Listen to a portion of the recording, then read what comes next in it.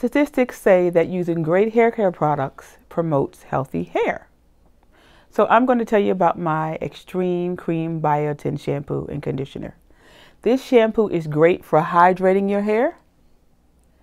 It's a great back bar shampoo and it has biotin in it which helps the hair grow and be healthier daily and consistency.